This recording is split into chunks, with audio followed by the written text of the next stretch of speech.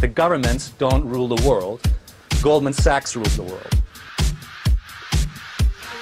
Hello leaders of the global financial market. We are Anonymous Anonymous Anonymous Anonymous.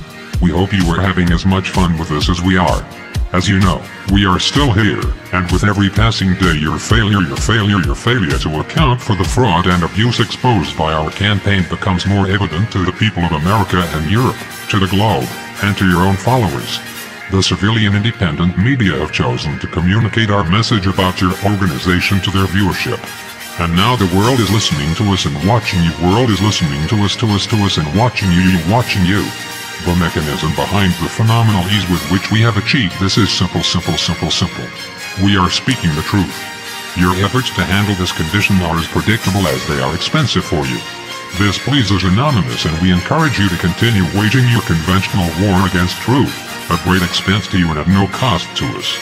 We approve of these conditions because within them defeat is impossible. Our campaign has been one of constant success, and yours has been one of constant failure. This will continue. Evidence of our victory is everywhere. We are certain that police departments and arms manufacturers appreciate your handsome patronage now necessary because of the ubiquity of our message.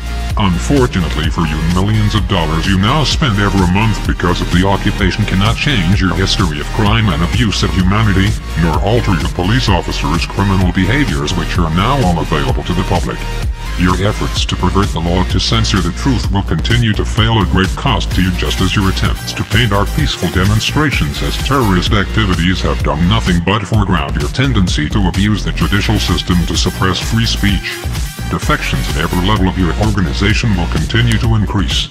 By now you have most likely experienced the cognition that every action we take deprives you of at least one of the three following things, capital, clients and credibility. These conditions will continue to exert their pressure upon you and your superiors. The disorder will continue to deepen.